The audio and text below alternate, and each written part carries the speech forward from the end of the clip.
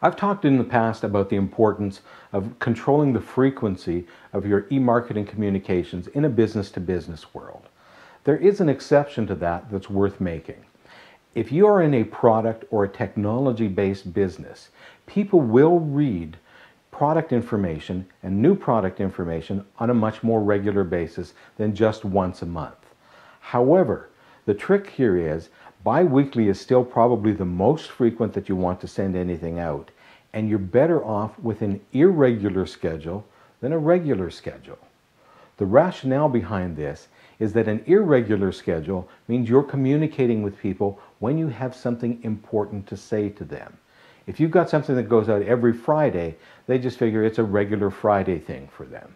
But if you've got important information that you send out 10 days after the last time they received something or three weeks after the last time they received something from you, they understand, hey, this is something I should read and I'll pay attention to it.